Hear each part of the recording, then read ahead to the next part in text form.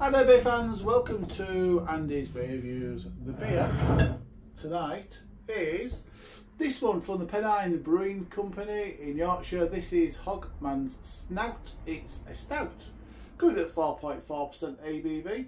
Um, not the first from this brewer. I think I've had a golden ale from these guys before, so I'm looking forward to this.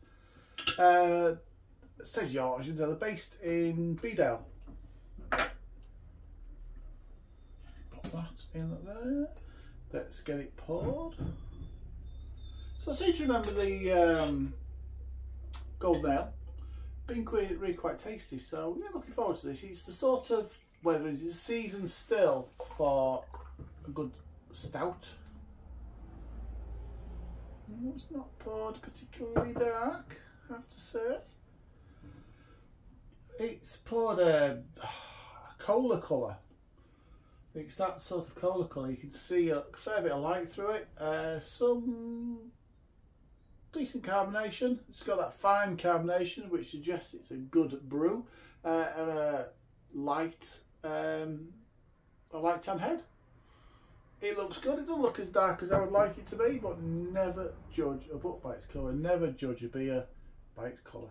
Uh, so a snifter, shall we?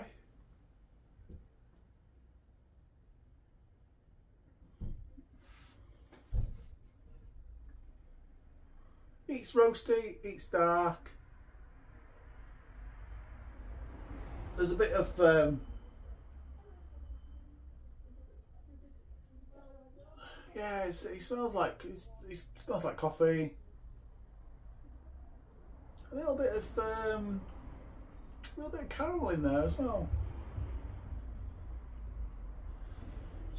Looks looks okay. Smells okay. Let's taste. Shall we? Cheers, everybody.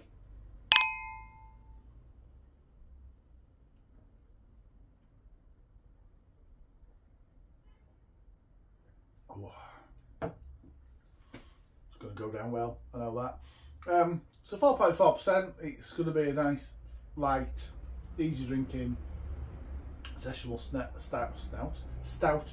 We know that, and the flavour's giving, giving that. It is quite light in flavour, um, but it's roasted. The roastiness is there, it's smooth,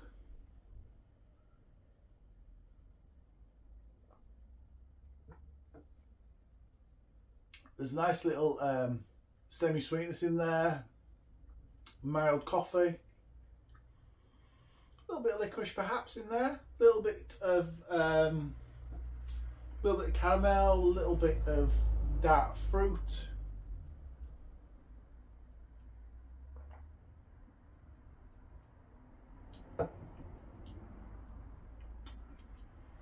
Yeah, get a little bit of plumminess coming through it from the, from a, a fruit perspective. There was an, on the back end a little little pepperiness coming through. It's got the flavours there, it's just for me, it's just not enough, could be a little bit more.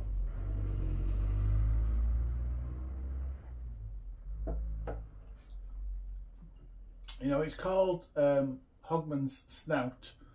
It's got that sort of, oops, that sort of imagery I expect it to be just a little bit more, a little bit more robust. But if you're looking for a, so if you if, if you like your stout, so you're not quite sure about your stouts, you're looking for something that's relatively easy drinking, then it's probably a good starter, a, a good starter beer. If you like something like a Guinness, and you want to start to start to see what real stouts are like, then it's a good beer to go to. For me, for me personally, it's um,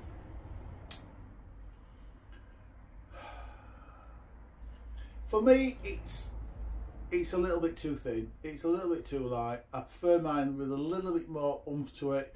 Uh, but you know what? The flavours are there. It's silky smooth. It is tasty.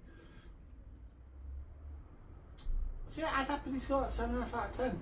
7.5 out of 10 from Andy Beer Reviews. Have you had this before? Let me know in the comments below if what you think about it.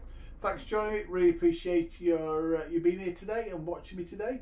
Until next time, enjoy your beers. Cheers.